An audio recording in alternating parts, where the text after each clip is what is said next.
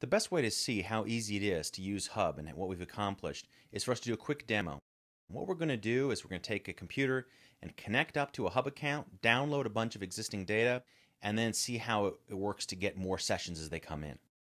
So the first thing to do, we're going to go ahead and click on the Start page, which on the right hand side here we have this new option to connect to a Gibraltar Hub.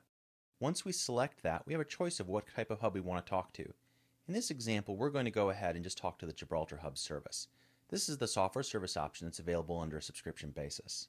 To connect up to this, all we need to know is our account name and the shared secret for that account.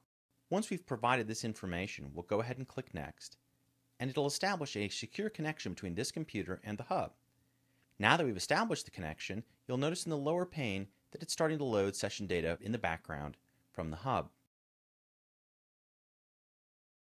In fact, you'll see a little notification pop up whenever there's new data available.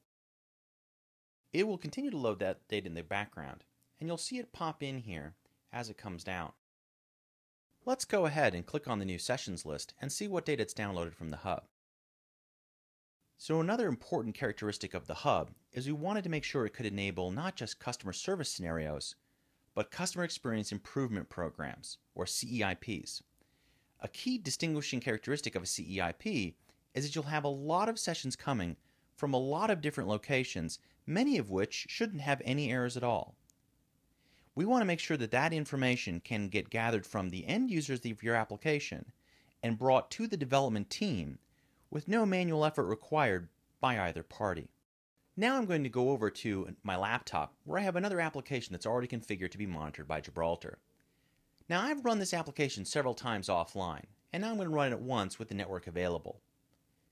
What you're not seeing is it in the background automatically packaging up the data and submitting it to the hub. If we look back at my main window, you'll see now I get a notification that there are six new sessions available, and some of them have errors. Let's go click on today and see these sessions that we just downloaded. You can see that there's a warning session, two that crashed, and this last one has an error. Let's go ahead and drill into that. To view just the errors, let's go ahead and group by error and caption, bringing the errors to the top. And there you have it.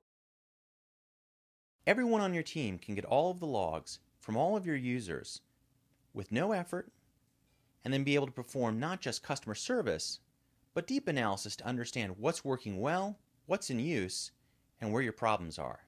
Thanks for listening.